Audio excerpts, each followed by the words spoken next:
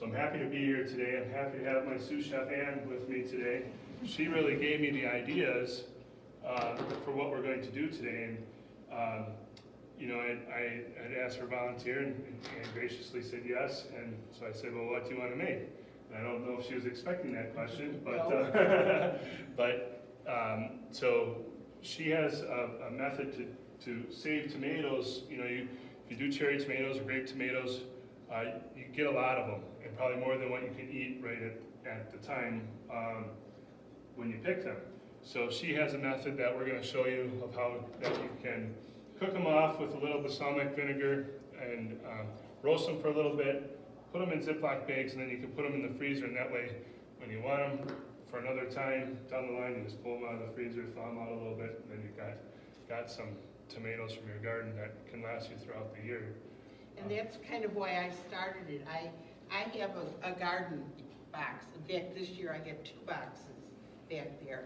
And I found out one of the things that grows pretty good back there are cherry tomatoes.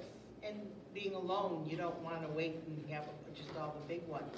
So last year when I had a bumper crop, I was like, okay, what am I going to do? And I never did this before, and I just researched it, and I found it, and it really, by living alone, it really is something that I like because I like omelets, or just, you know, scrambled eggs, put these in, and with the seasoning and everything, and it really makes a difference. So almost anything that you're cooking, you know, if you've got a pork chop or a hamburger or whatever, you can take one of these little bags out of the freezer. If you want to nuke it to just defrost it, you don't even have to do that, just put it in the pot, and it really puts a lot of Sure, or if you, or if you wanna, if you wanna put them on a, you know, salad or something, you can, you'll have them for that way too. So thank you so much, I think that's a great idea. Um, and, and then, uh, you know, back when we had kind of asked about doing this, we thought it would be more closer to the harvest time, right? And so another thing that people tend to have a lot of is zucchini.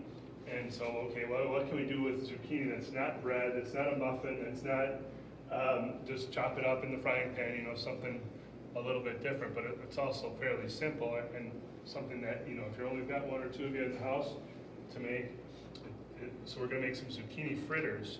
Um, so it's very simple, just a little flour, a little egg, a little zucchini, a little seasoning, and really that's about it. And then I've got a sauce that we'll, we'll make uh, to, to dip those in. Um, But, you know, zucchini fritter, you can have it as a afternoon snack, you can have it as something to eat with your, you know, your steak and, and in place of a vegetable or in place of a potato, whichever you like.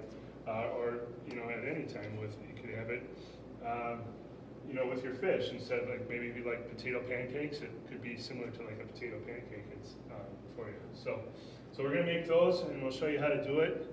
Uh, when it's all done, we'll have a little samples. We'll have some, a couple baggies of tomatoes to share.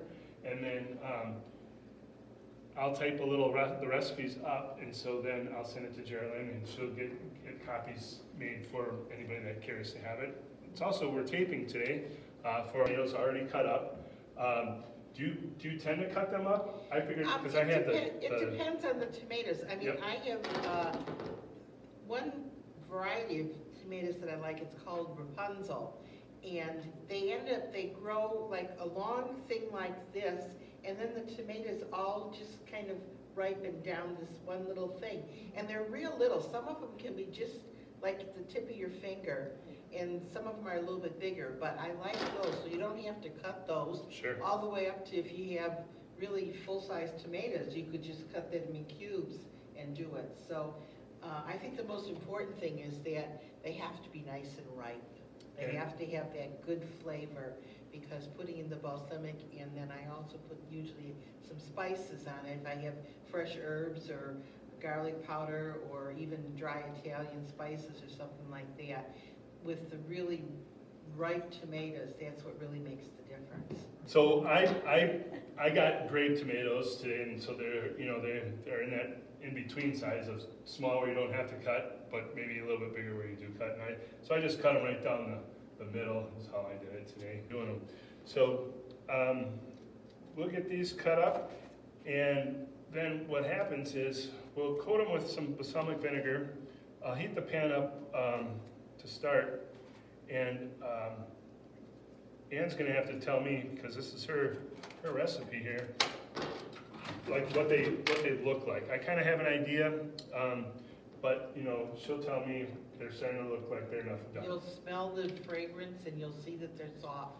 And, uh, so you just enough to coat them or drench them, what do you? Yeah, I'd put a little bit more in there because you, you- you're not gonna use all of it probably in the pan, but you'll Right. get, you know, the flavor. Yeah, that's pretty About good. like that? Okay, that sounds good. Got my spoon down here. So just gonna get them coated. And I didn't bring any other seasoning to, to do because it's very particular for your own taste. But like Ann said, Italian seasoning, dry Italian seasoning on that would be good for just about anything. You know, if you want something more Italian, maybe throw some basil in there. Um, just some salt and pepper is fine. You know, anything that you prefer for flavor would be just fine. So I'm just gonna leave these just with the balsamic. Um, I like that, that alone. Um, it's good, you know, if you just have some of that with some mozzarella cheese and then you have a little caprese salad as well. Get that, it won't take long to get that hot. So what, what, what, what's your favorite thing to have with tomatoes? Um, Well, I eat a lot of scrambled eggs. so- Okay. And omelets, so I do like it with that. Is it a way to It- change up the egg every Right, day, right? right, really flavors through, and, um, oh, I don't know, I've used them like if I'm making chili or something, or, like I said, even if you're just making a, a broiled hamburger, um, Oh, just yeah, take that a would be bag good. of them out, and, and when you freeze them, you'll see there's juice in there, and so they're really kind of juicy, so they almost create a sauce that you can use. Um, gosh, I think if you made a grilled cheese sandwich and put them inside of there, I That would think be they, good. they would be really good, so, um, you know, it, it's hard cooking for one, and sometimes you don't wanna feel like you wanna get out all the spice and everything to do it, and depending on what you use, fresher or, uh, dried, and little garlic powder on them, um, it really stays with them. You can start smelling the balsamic a You little can bit, smell can't it, you? but yes, definitely. Um, Now, would you suggest, that, seeing as you don't have any, um, herbs, maybe put a little salt and pepper on them? Sure, yeah, we can do that. So, You can also do this in the oven, because the original recipe I had was for, um, what, I don't want to say baked or grilled, whatever. Baked, yeah. Baked. Mhm. Okay, and you can just put it on a, a, you know, a Like a cookie sheet? cookie sheet that has the sides on it. And I've just put, um, parchment paper on there, so you don't have to wash it or anything, because the balsamic vinegar will sort of, I don't wanna say caramelized, but it, it Sure. thickens a little bit. Yeah. Um, as you do it, and so you can get it, they, they taste a little different when you roast them like that. It kind of brings a little bit more of the flavor of the balsamic vinegar out, I think, but um, I've started doing this because sometimes it's easy, you only have like a little bit of, of tomatoes or something, and like you said, you know, you buy, even if you buy just a carton like that, how long does it take us to use a carton up? And then they get kind of, you know, yucky. So even if you bought a carton of it and you put half of them like this, it's easy to do it on the stove. But if you got uh, a grandchild or a child who has the big garden or the friend that wants to drop off a bunch of tomatoes, this is an easy way to, to use them up. Exactly. It's like over a pasta too, Yeah, I think that would be, yeah? yeah, that would be pretty good.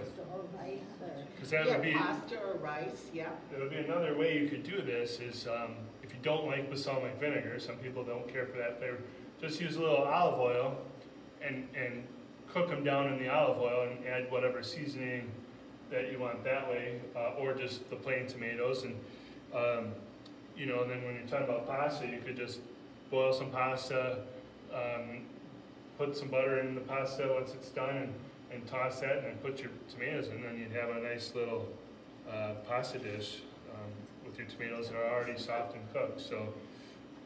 Ooh, I got a cough with this smoke thing. But I think those are just about, about what we're looking for. I think that's about right, yep. So one more time around so they can see how nice they are, all kind of yep. shrinking down. He's a pretty good chef, huh?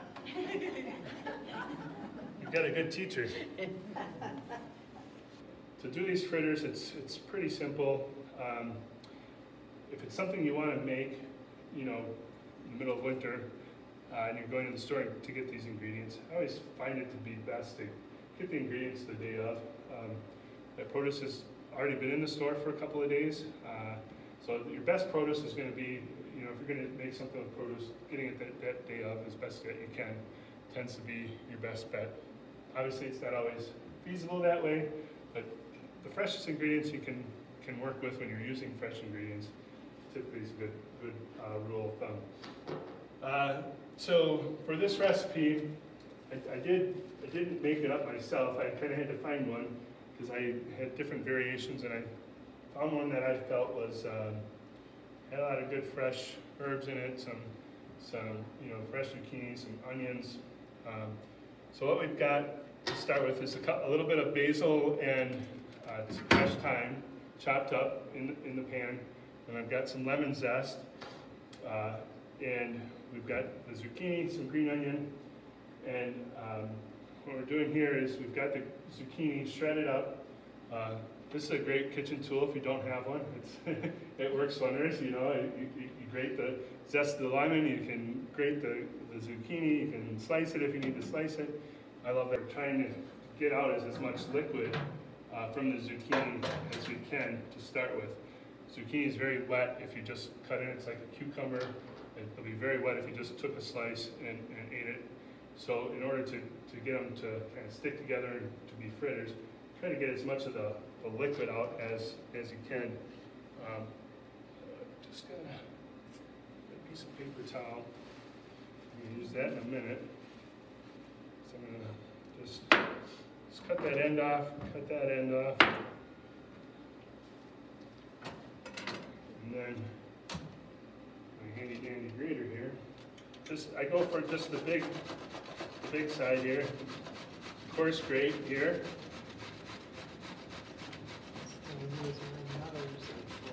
Yeah, Your mother used to have one like that? That I was still have it, that's what I You use. still Yeah. have it? How many have got their mother's grater? Oh, see, we've got a couple hands. Yeah. So, because the salt will bring out the juice, bring out the water in it. And if you're in a hurry, I mean, not that we are, but if you're in a hurry, you can press it with the paper towel even more. Try to get, like I said, try to get, just to kind of get as much juice out of it as you can. If you're making a cake, say with shredded zucchini, would you, to measure it out, would you take the juice out first or? I, I, I typically would because it's gonna, you know, it, it probably won't matter a whole lot, but you wanna, you probably wanna try to get the liquid out of it, um, before you bake it, otherwise, you know, you're gonna kinda have that runny middle inside, so. But I'll let this sit just a little bit, so, so, I'm just gonna cut out some onion here. Scott, how many inches of green did you use? Um, so I probably left about an inch at the end, uh, just towards the end, they start to get a little dry, a little crumbly, whatever. So um, you, you just kind of have to see how your, your particular onion is that time. These little.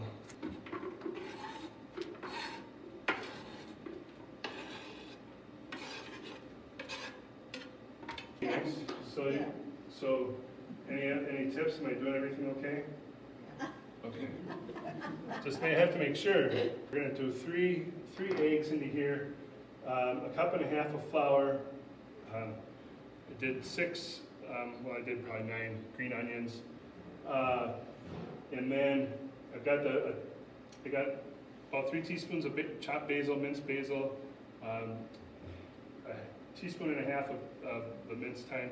And actually the thyme, I, you know, instead of cutting that all up, those stems you don't really want. So again, another thing to use your grater for, take the stem and you find what, what hole of the, of the grater works best, and you just pull it through and your leaves will fall off real easy, so. Um, it's just a, you know, you can do that, like parsley, you can use your, your coriander, stick it through and, and it, it'll pull those leaves off, uh, that way too, so. Just a little time saver, I mean, you can do it with your, you know, your fingers well, it depends on how, how stiff those stems are, so. Um, and then some, some lemon zest, I already, I already got the, the lemon zested, we're gonna zest another one for when we make the sauce. And then, um, some salt and pepper, so throw some salt and pepper in there. What does it say, quarter teaspoon, Yeah. a teaspoon?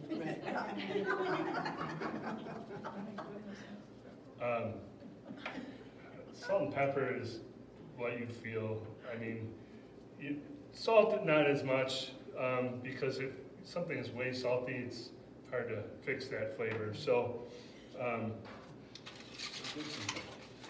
see, it's gonna get in my nose again though. Oh, I'm disappointed, not a one-handed, uh. Oh, you want me to do Yeah, fancy? yeah, come on, you want the whole uh, nine yards Oh, here. how's that? If you expect me to flip them in the air, Yeah, no, no no, problem, no, so. I didn't realize it's being judged on the technique then too. no. We're a tough crowd. Hey, that's okay, I don't, I don't mind. Um, and actually, just gotta get that, uh, that egg beat up a little bit, I might need another one, just, we'll see what it looks like after I get the flour in there. Cause I'm not baking, it doesn't have to be perfectly level, right? If you're baking, you wanna make sure you've got the right amount of flour, that's pretty close to the cup there. And then it was, uh, a cup and a half, I believe. Yeah, a cup and a half. So again, I'm just gonna go about a half a cup there. But then, like I said, I gotta, I might need to add a little egg. It's always easier to add. Add a little egg to it, that's fine. Except for when I get the zucchini in there, it's gonna be even more wet, right? So. No, you're just fine, just, Need a bigger spoon. yeah, I forgot. Bigger spoon, yeah. You know what, this'll work. That's all. Oh, there we go, now we're cooking. Does anyone else call those scrapers? Rather than My spatulas? mother did. My mom did. Yeah, it, you know, it's probably fifty-fifty in the kitchen, um, scraper, spatula. I didn't know the spatula was mine. I grew up in a home, you knew what a scraper is. Now, you didn't make a sample of these, did you? I did not. Oh, so we're, we're on the cutting edge. We don't know what this is gonna come Yeah, out. it could be awful, we don't know. Uh, As long as we fry it, they're nice and Well, that's- golden brown. Right, I mean, that's And kinda we how put I a sauce felt. on them, what could be bad? I mean, I mean, if you fry anything in oil, Yeah. I how bad can it be, right? I mean, Gets crispy. Oh.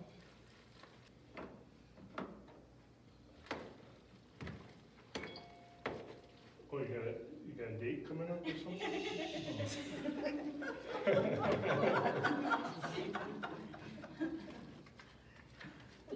You don't want all my secrets. No, no, no, no, no. don't think so. She promised a uh, zucchini fritter. Yeah, You want it to form, to, to hold yeah, together. right. Could you deep fry them too? Sh- Sure, and essentially that's what we're gonna do, we're gonna have it, oil in the pan and, and, and do it that way, but yes, if you had a, you know, like a fry daddy in your, you know, your room, uh, your apartment, you certainly, you could do that. Yeah, Do you think this, if you, if you put some fresh herbs in there too, if you wanted? yep, and I do, I have some uh, basil Oh, and you some uh, basil thyme in and here, thyme yep, in there, yeah. yep. Um, and the, and the lemon as well, so, um, you know, the lemon zest anyway, yeah, that looks a little bit better. So I'm just gonna, you know, get, get enough oil in the bottom of the pan, just kind of, so then when you drop these in, they, they're gonna kind of cook on the bottom, and then we'll flip it over one time. Um, So it's about four to six minutes on each side. Turn that on, turn that down. Oops. Okay, Okay. do you wanna do this? No, No? you're doing good. Oh. I don't want to take your job away. Wait a second, open up the container here. You know, we want to volunteer for the next one, so I don't want to work too hard. Oh, well, yeah, that's right. it, You know, you might, might scare your next uh, sous chef Right. away, you know? so I just have some sour cream here. You can use, um, uh, Greek yogurt if you prefer something a little healthier. Um, you can use regular yogurt, but, uh, plain, obviously, you don't want like strawberry yogurt, that'd be a little silly, but, um, just get some sour cream in there.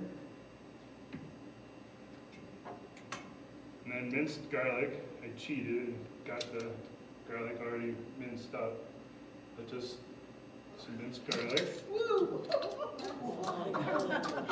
Yeah, that's a lot of sour cream. And I'll be sleeping alone tonight, right?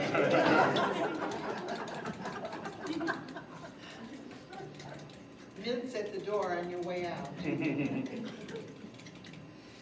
But you know what, zucchini in itself doesn't have a lot of flavor, right? So if you're making a sauce to dip it with, you gotta taste something, right? Is that mustard? Uh, minced garlic, Next garlic. yep. And then, He's gonna give again. us the recipe, Karen. Oh, yeah, Yeah. now you tell me.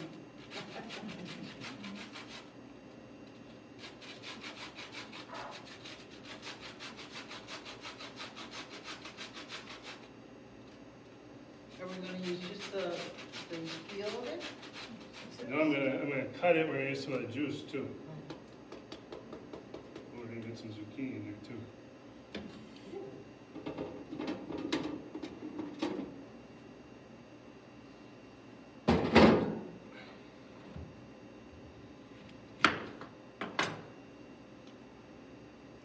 About how much zest did, did you put in there? One, one lemon worth. You know, they do it stuff like this and the seeds all end up in their hands. Yeah, well, um, Yeah. that's because they probably had somebody to, to squeeze it for them. Oh, did it? Well, I, I ain't squeezing it.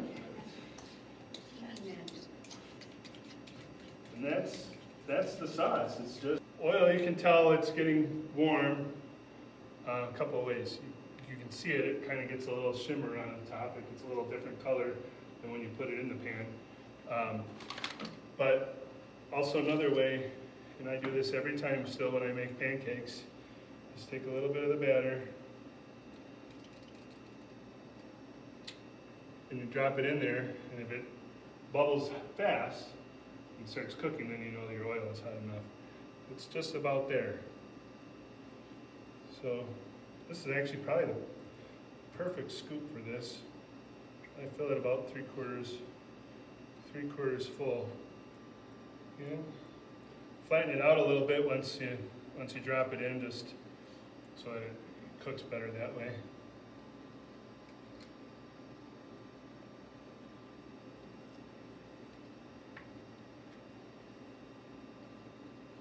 And this is just about, you know, however, however big of a frying pan you have, how many you can fit in the pan. There's no, I suppose you could. I don't know if I would, but, uh, you, sure, why not, right? So they're just, they're just frying, um, and I'm not gonna walk around with the hot oil, I don't trust myself that way. But, uh, if, if you're, you're welcome, if you feel like taking a look at what it looks like in the pan, you certainly can. But the, um, just gonna fry four or five minutes on each side, uh, probably four or five minutes on the first side, depending on how deep your oil is. And then, you know, flip it over to get that, that next side brown. Um, is really what it takes. What do you think? Needs a couple more minutes, but they're looking good, right? Yeah. Now, see, I probably would like them a little bit thinner, A little thinner? Yeah, those, the littler ones, a little bit thinner, I Sure. think. Because they'll take a little bit longer to, to make sure they're cooked all the way Right. through. So could you still do that now, when they're? It's getting a little bit, it's getting a little bit hard on the bottom. Yeah, because they're bottom. firmed up on the Yeah. bottom already. But, um, They're holding Yeah, in in my little boxes out there. And one thing that I like is I make chive butter. oh, yeah, And I like to have fish and just, you know, put that, just put one of those, I, I, when I freeze it, I freeze it in pads. So Mhm. I can just take one little pad out, put that in there and put the, your fish in there. And boy, it's just, you know, I, I- do it with uh, some basil also, but that would be I really like it with the chives. That, that does sound very good.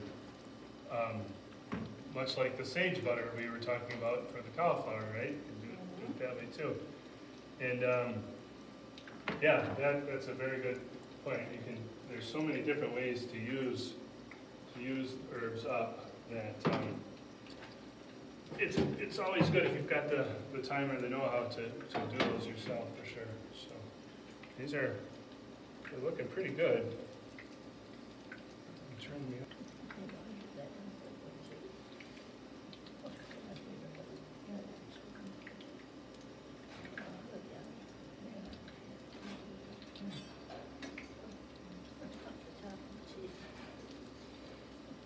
Ann, since you were my, my assistant here, or I was your assistant today, Yeah, you, you get first dibs. I do. Yeah. Well, I was just counting, you got four of them in there, so just to get a taste right now, well, he may, does another thing. Maybe we could just cut these in fourths, and then everyone can at least Sure. have a taste at the same time. Yeah, I have five, so that makes Oh. it even better. Maybe we just cut it in Okay. half? Yeah, Yeah. we'll do that, and then you can have a taste with some of the And then I'll the keep, sauce while then I'll it's keep still making cooking. And, uh, he's got quite a bit, yeah, we're gonna make sure he cook, cooks it all up, so maybe we'll, uh, end up with a little appetizer for our dessert, dinner, for our Yeah. dinner tonight. But so that's, can everybody see that a little bit?